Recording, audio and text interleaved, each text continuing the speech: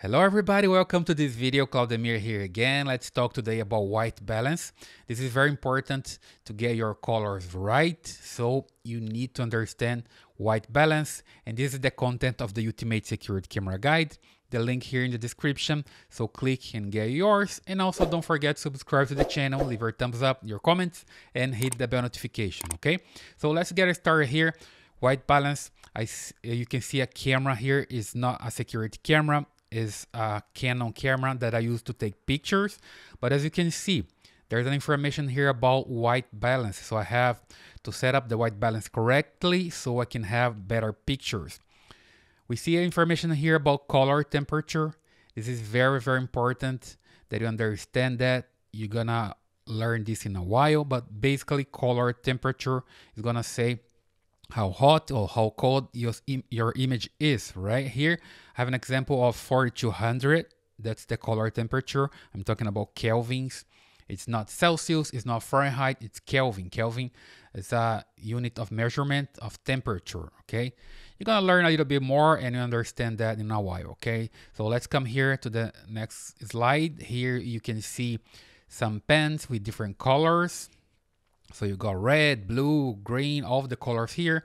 And here you have a camera that's pointing to these pens, right? If you get the white balance wrong, you're not gonna see these colors correctly, okay?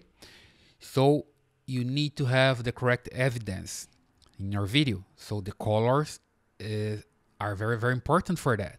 I remember I was an exposition long time ago and I was watching a camera and in the monitor I could see myself using a purple suit.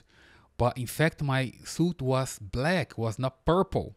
The, the color of the camera was completely wrong. So the evidence would be bad if like somebody need to talk about me. So I say, hey, you need to find this guy that using a purple suit and I was not. It was a blacking suit there, right? So it's very, very important that you set the white balance to get your colors right, especially in an environment like this. It was an exhibition, right? You're like trying to sell your camera.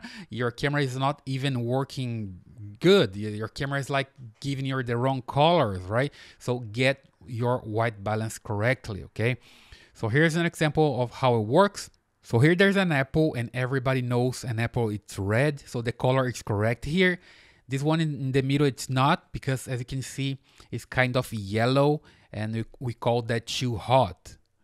And here is kind of blue, so we call that too cold. So when it towards to yellow, we call that too hot. When towards to blue, we call that too cold. This comes from the color temperature. As you can see here, we have color temperature in Fahrenheit and Celsius. That's the way we use in our countries. Here in US, for example, is Fahrenheit. Other places, usually we use Celsius, but there's also Kelvin. So Kelvin is also the temperature. It's a unit to measure temperature. And we can measure temperature in kelvins for white balance. As you can see here, I have 4200 kelvins. This, this K here is for Kelvin. So in this camera that I used to take picture, we can set that color temperature in kelvins. Then you're gonna get your colors correctly depending of the light you're using, right? If you match the color temperature of the light that you're using in the place where you're taking picture. So that's why you need to set up your white balance correctly, okay? And here's a menu for security camera, as you can see here. There's a, the white balance. You can come here and choose which one you want. But here you don't see the color temperature. The color temperature is there, but you cannot see it. You just choose if you want to use ATW, that's automatic white balance, or you can set manually, or you can use AWC, outdoor or indoor, okay? More on that later, right? So basically you need to come here and choose your white balance correctly so you can have your colors right. Let's take a look here in the menu of a camera. This is an analog camera. You can press the button here, look at the monitor and see the menu there. As you can see here, white balance, uh, set it, uh, can set up for manual. I can set up for AWC, ATW. That's are some examples. You, you can see that the color changes here in the background, okay? So basically manual, you can choose the way you want more towards to red, more towards to blue, the way you want to set up your color temperature manually.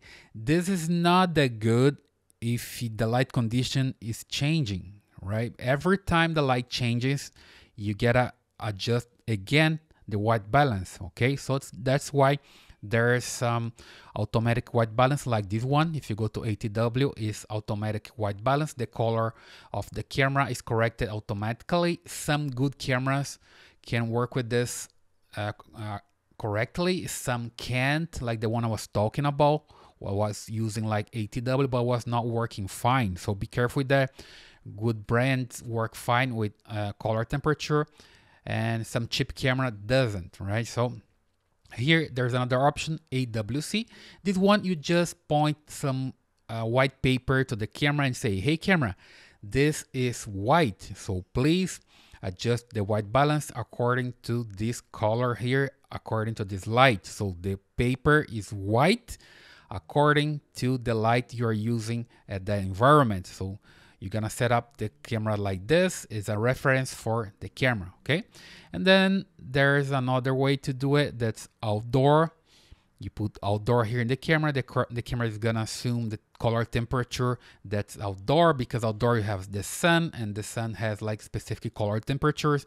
The camera knows that and the camera will try to adjust for outdoors and also for indoors, right? Most of the time you're gonna use automatic white balance. Most of people use that automatic white balance, but be careful with the camera you're using. Some of them can't get this right, okay? So guys, keep studying, keep watching videos here in the channel, subscribe, leave your comments, your thumbs up, and hit the bell notification so you can receive more videos like this one. I see you in the next one. Bye!